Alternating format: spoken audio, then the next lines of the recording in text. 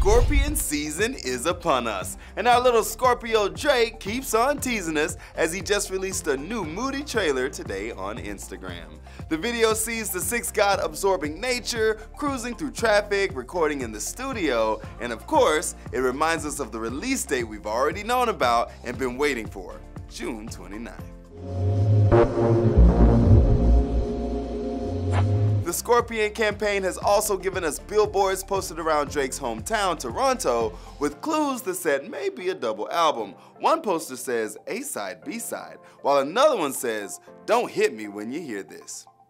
Hmm. Now, just recently, we got the release of the Um Upset music video, which featured the cast of Degrassi and Stoner heroes Jay and Silent Bob. It was every Degrassi fan's dream. Talk about some major glow ups. I'm upset. Half a million on my head, I can't accept, yeah. Okay, but real questions I need answered from the teaser clip. Drake, where were you driving to? Could you be drinking and driving? Hmm. Now, was the entire album recorded in an eerie red light, or did you switch colors for inspo? And is the album two disc or nah? You know what? Friday can't come soon enough.